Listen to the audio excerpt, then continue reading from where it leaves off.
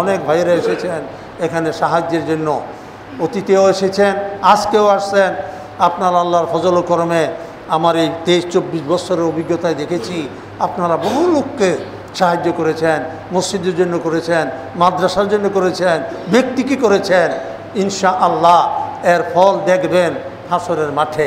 আপনি একটা যদি খেজুরের দানাও সহি নিয়তে হালাল উপার্জনের থেকে দান করে থাকে তাহলে এটা দেখবেন হাসরের মাঠে উহুদ পাহাড়ের মতো বড় হয়ে গেছে।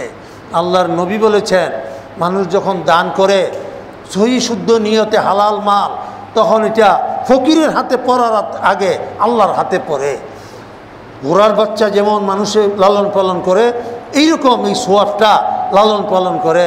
আপনি দেখে অবাক হয়ে যাবেন, আমার জীবন আমি এত ন্যক্ত করি নাই।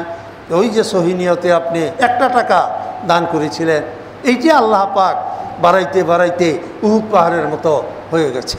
তো আজকে যারা এখানে এসেছেন, তারা কেউ অভাবী, কেউ মাদ্রাসার জন্য, কেউ নিজের চিকিৎসার জন্য এখানে অনেক কাগজ আমি দেখেছি। আপনারা মেহরবানি করে তাদেরকে সাহায্য করবেন।